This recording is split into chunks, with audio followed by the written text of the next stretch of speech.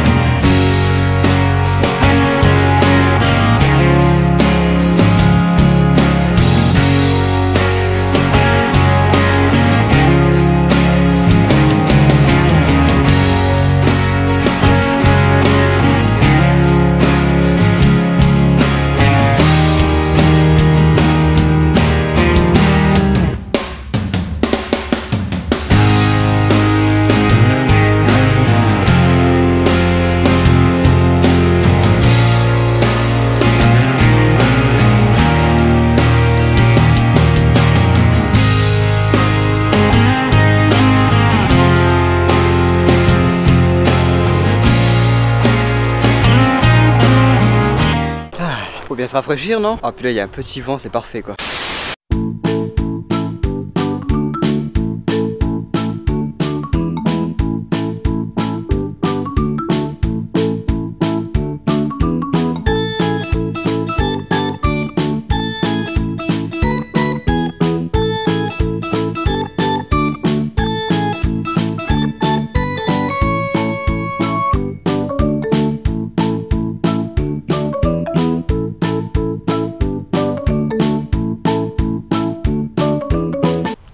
Croyez quoi?